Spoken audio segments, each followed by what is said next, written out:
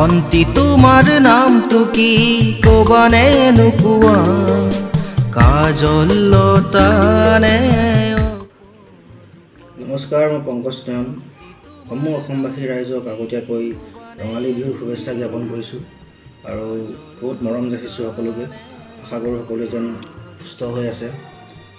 আৰু বিগত বছৰৰ দৰে এইবাৰো আমি বিহুৰ বাবে আমি আখৰা কৰিবলৈ ওলাইছোঁ বিহুৰ আখৰা কৰিও আছোঁ। আৰু এইবাৰ মঞ্চত মোৰ সহশিল্পী নিজৰা ভূঞাৰ সৈতে আপোনালোকে মোক দেখিবলৈ পাব। গতিকে সকলো বিহুপ্ৰেমী ৰাইজে বিহু মঞ্চৰ বাবে যদি আমাক যোগাযোগ কৰে যোগাযোগ কৰিবলৈ নম্বৰ আপোনালোকে তলত দিয়া আছে। তলত দিয়া নম্বৰসমূহতে আপোনালোকে যোগাযোগ কৰে। সকলোকে লগ পাম ফূৰ্তি কৰিম গান গাম আৰু বহুত কথা পাতিম। গতিকে সকলোৱে যাতে আমাক আদৰি লয় আৰু আশীৰ্বাদ কৰে।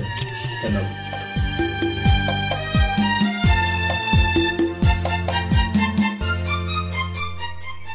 নমস্কাৰ। মই নিজৰা ভূঞা আগন্তুক ৰঙালী বিহুৰ সমূহ অসমবাসী ৰাইজক মোৰ ফালৰ পৰা শুভেচ্ছা জনাওঁ উদীয়মান কণ্ঠশিল্পী পংকজ নয়নৰ লগত আগন্তুক ৰঙালী বিহুৰ মঞ্চত ন পুৰণি গীতেৰে জীপাল কৰি তুলিবলৈ সাজু হৈছোঁ।